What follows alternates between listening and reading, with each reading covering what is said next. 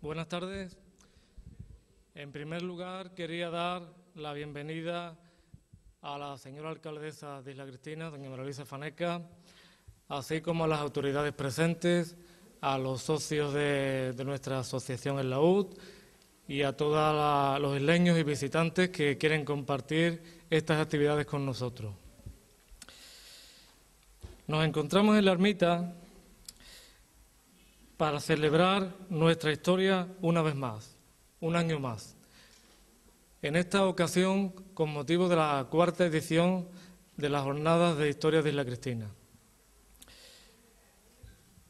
Para hoy tenemos previsto dos, dos actividades. Una de ellas consiste en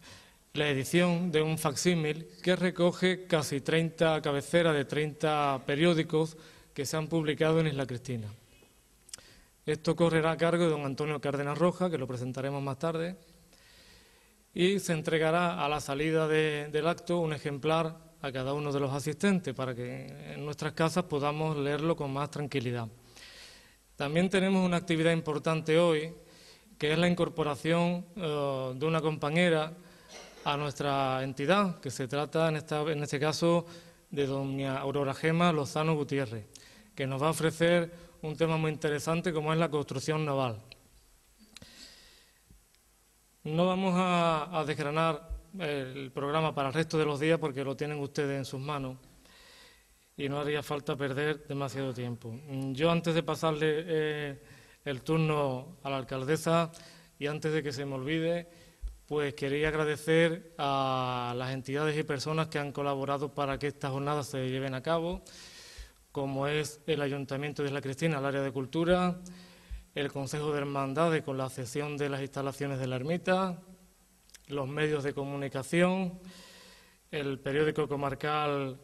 eh, N431 y a todos aquellos que de una manera u otra pues han, colaborado para que esto, como decía antes, para que, esto se lleve a cabo.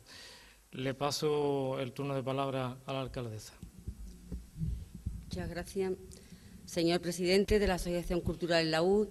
delegado de Cultura, señoras, señores, buenas tardes a todos, bienvenidos a uno de los actos, yo diría, más importantes que habla y que nos hace a todos tener eh, pues una memoria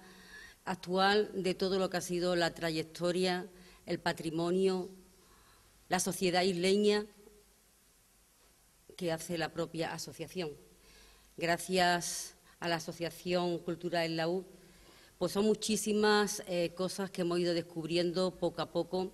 pues de toda esa historia importante,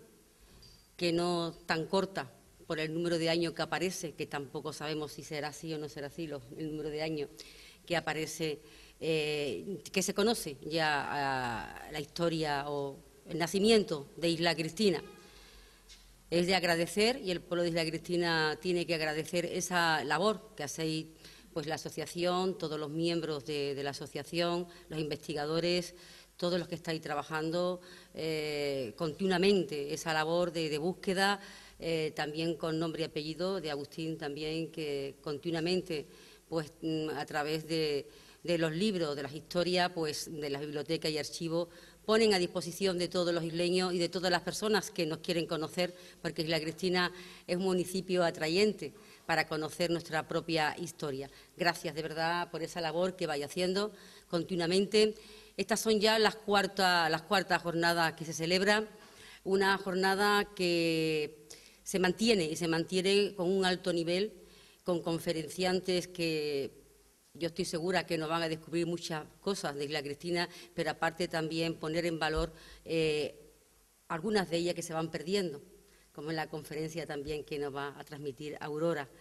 Eh, estas jornadas que se celebran en momentos complicados y difíciles, porque desgraciadamente, desafortunadamente, en momentos complicados, eh, pues una de las partes importantes de la sociedad, como es la cultura, se ve más afectada porque son por parte de las administraciones, por parte de cualquier entidad, las que menos tienen apoyos económicos y se pone sin saber que realmente la cultura eh, mm, pone en valor tantísimos temas en una sociedad una sociedad formada, una sociedad informada, eh, suelen salir mucho mejor al frente de los problemas que tenga pues cualquier familia o cualquier sociedad. Sé que son de las más, en este caso, más castigadas, eh, más desafortunadas en el momento de apoyarla. Cuando vemos, o yo he visto la programación de las cuartas jornadas de historia, pues se le ve la gran calidad que tiene por esas conferencias que ya os digo y sobre todo por ese trabajo que se ha ido haciendo a lo largo de,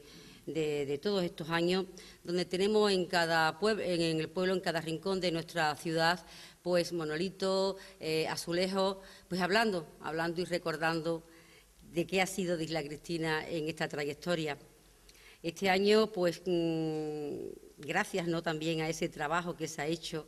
eh, tendremos otra placa que se descubrirá el sábado, para orgullo de todos los isleños. Sabéis que todas esas placas que se van poniendo a lo largo de, a lo largo de las zonas de Isla Cristina, de las barriadas, pues no solamente nosotros las vamos leyendo, sino cuando viene gente de fuera, eh, pues van viendo y van conociendo nuestra historia. Pues este año, pues eh, alusiva a un antiguo castillo. Seguramente habrá muchas personas, y sobre todo gente más jóvenes o incluso mayores, que no sabíamos que había un antiguo castillo eh, en nuestra ciudad, ¿no? Y bueno, pues esa placa donde va a recordarnos ese antiguo castillo, que está situada pues eh, cercana, si no me equivoco, cerca o donde estaba, donde está ahora mismo el cuartel de la Guardia Civil, allí pues se descubrirá el sábado esa nueva placa para la historia de Isla Cristina. Yo quiero agradecer a todos los conferenciantes, empezando por mm, Antonio Cárdenas, que es también continuo y ha sido también eh, pues investigador eh, de toda esa historia a través de, Isla Cristina, a través de la prensa. Eh, Aurora, que nos presenta ese gran máster de su carrera, que le preocupa,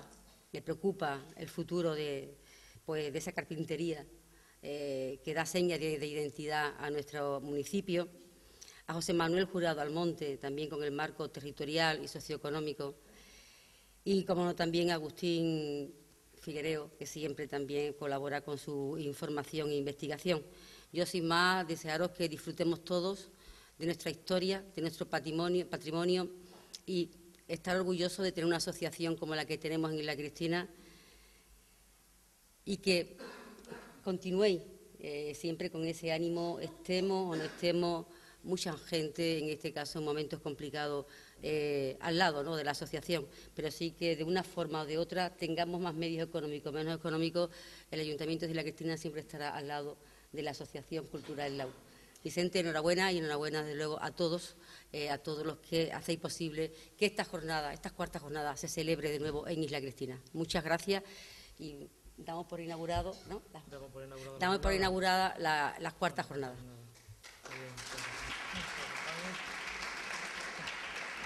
Aquí